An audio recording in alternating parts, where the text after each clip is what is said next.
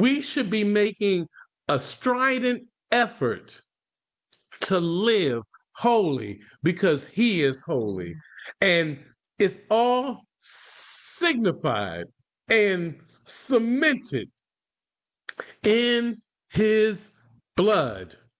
If we do not understand this lesson, we have made his blood in vain. The, the the the the sacrifice of his blood, we have we have done it in vain.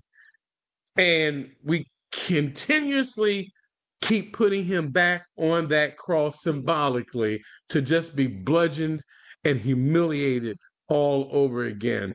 Isn't it better to just walk in the anointed, blessed assurance that the blood has given us, that we and all who profess and live out this thing that we call Christianity would do so hmm. knowing that the blood has made us whole.